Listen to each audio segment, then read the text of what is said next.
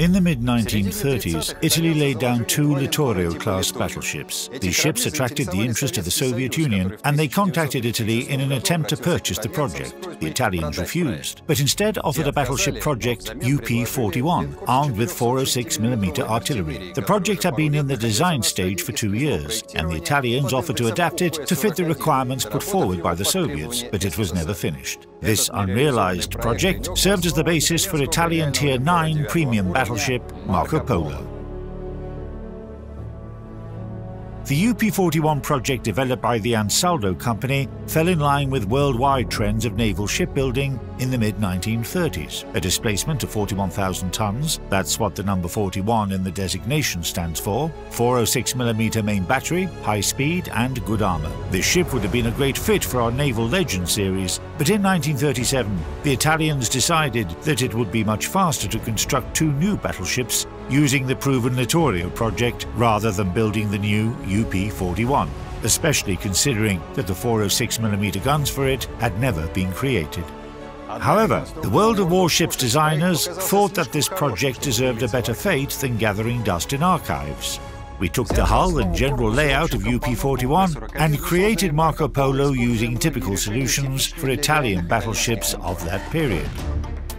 Thus, her main belt of composite armour and anti-torpedo defence system are borrowed from the Littorio-class ships. However, when it came to the main battery, we needed to apply some serious science. We had to develop a ballistic solution for a new gun.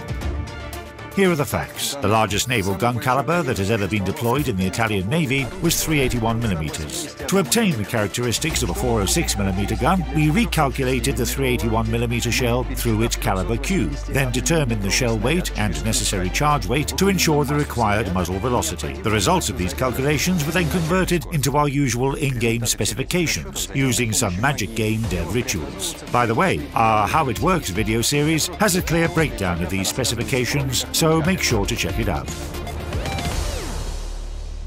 As a result, we have a very interesting Italian battleship in the form of Marco Polo, with nine quite powerful 406mm guns as her main battery. However, she can't boast of having a long firing range. This means that the battleship is best suited to fighting at medium ranges, where her guns, armour and manoeuvrability allow her to be effective against the majority of her adversaries. Her semi-armour piercing shells can inflict quite high damage, and the spotting aircraft consumable gives you the ability to interfere with the plans of any approaching enemies or catch up with a retreating adversary. Moreover, thanks to her mobility and good concealment, Marco Polo is capable of quickly taking up a position at medium range. With precise control, her decent maneuverability will help you reduce the probability of taking critical damage.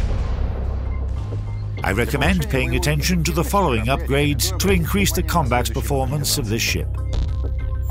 Main Armaments Modification 1, Damage Control System Modification 1, Aiming Systems Modification 1, Damage Control System Modification 2, Concealment System Modification 1, Main Battery Modification 3.